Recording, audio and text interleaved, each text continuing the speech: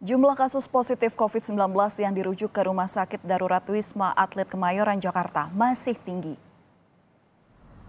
Tingkat keterisian tempat tidur pasien di Wisma Atlet hingga pagi tadi mencapai 90,22 persen. Sebanyak 6.604 orang dirawat di Wisma Atlet Kemayoran. Sementara pada Rabu kemarin, sebanyak 196 pasien sembuh dan sudah pulang dari Wisma Atlet. Setiap harinya, Rumah Sakit Darurat Wisma Atlet kedatangan ratusan pasien baru positif COVID-19 yang dirujuk dari puskesmas di wilayah DKI Jakarta.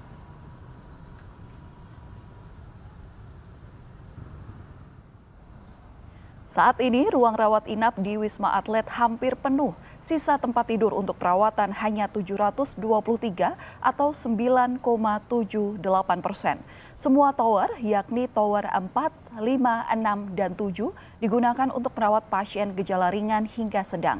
Pasien tanpa gejala akan langsung dirujuk ke Rusun Nagrak untuk mengurangi kepadatan di Wisma Atlet.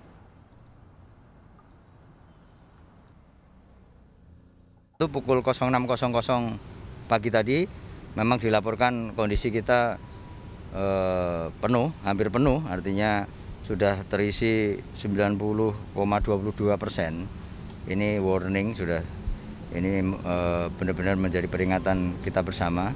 Jadi tinggal sisa bed 9,78 persen atau sisa bednya 723.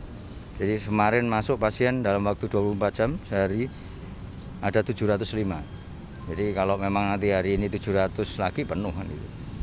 Jadi ada uh, yang benar-benar yang memerlukan uh, perawatan yang yang dikirimkan ke sini. Tentunya yang gejala dan komorbid. Yang OTG sudah tidak lagi, sudah semua harus nanti ke Nagra Selain di Wisma Atlet, saudara, ketersediaan ruang perawatan di Rumah Sakit Cengkareng juga penuh. Sementara Rumah Sakit UI, RSUD Depok, dan RS Bunda Margonda akan menambah jumlah ranjang dan kamar.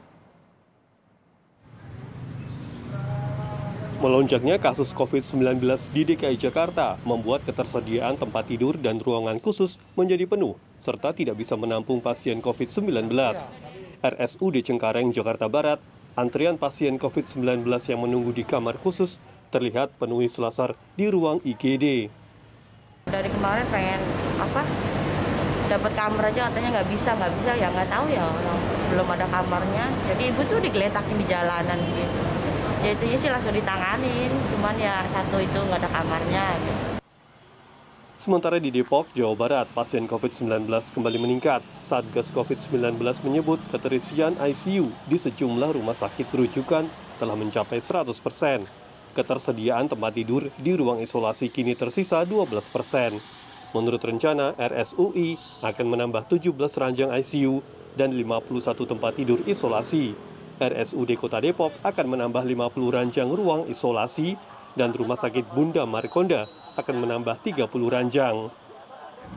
Saat ini, sesuai arahan Bapak Wali Kota Depok, kami melakukan uh, rapat yang dipimpin oleh Pak Wali langsung kemarin untuk penambahan uh, bor ataupun uh, penambahan uh, ruang ICU, demikian pula untuk ruang isolasi. Dan dalam waktu dekat, untuk penambahan ICU akan ditambah lebih kurang 17 uh, ICU, ruang ICU di uh, Rumah Sakit Universitas Indonesia. Ada 17 bed. Jumlah pasien terkonfirmasi COVID-19 di Kota Semarang, Jawa Tengah mengalami peningkatan, membuat ketersediaan ruang isolasi dan lokasi karantina yang disediakan pemerintah daerah hampir penuh. Untuk mengantisipasi pelayanan kesehatan, Pemkot Semarang mempersiapkan rumah sakit darurat di Jalan Kedung Munduraya Semarang. Ada 106 tempat tidur dengan 12 ruangan ICU. Pihak pengelola rumah sakit darurat juga mencari oksigen dari luar daerah untuk memenuhi kebutuhan pasien COVID-19. Hingga Rabu sore, ada 30 pasien dengan gejala ringan dan sedang, sedangkan pasien dengan gejala berat berjumlah 9 orang yang saat ini menjalani perawatan di ruang ICU Rumah Sakit Darurat Kota Semarang. Tim Liputan Kompas TV.